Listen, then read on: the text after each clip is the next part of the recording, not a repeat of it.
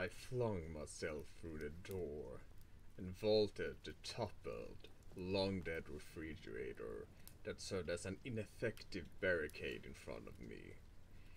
My legs propelled me through the room and into a small hallway on the other side.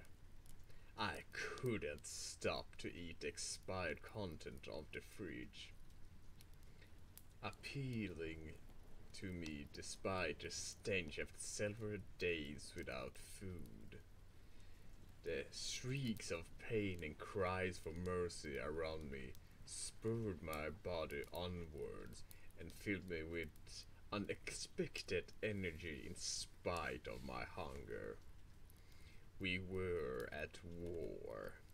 I came to a halt in front of a small bathroom. A noise, something behind the shower curtain. My fear heightened, and imagine of the enemy flooded my mind. Merciless beasts wearing human skin, devouring indiscriminately, accepting no pleas and respect no arguments. Zombies. It had begun, as we expected, with a virus. The original infected were almost a cliche. There was no humanity left in them just mindless rage, twisted bodies, and some primal urge to consume others.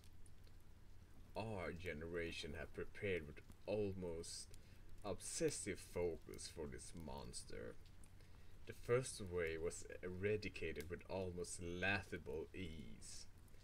There were we were not prepared for adaptation.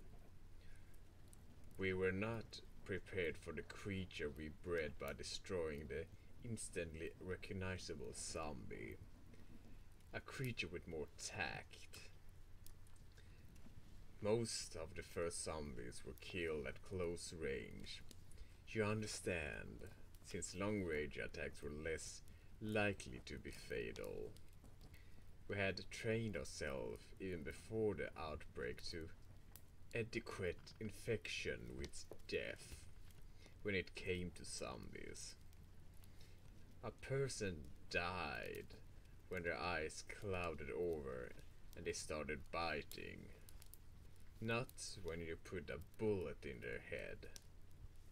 The new strain of the virus still controlled the body, yes, but it left our faculties to the host. Maybe you could pull the trigger on a hopeless, crazed caricature of your best friend, your spouse, your child. But what if there was still a soul behind those eyes?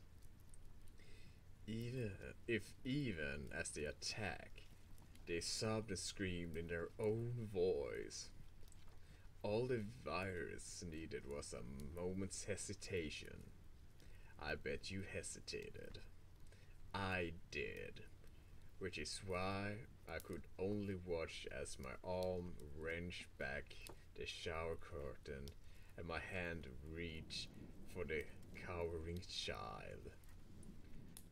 Why I could only beg for forgiveness before the virus used my mouth to tear ragged, bloody hunks from his body.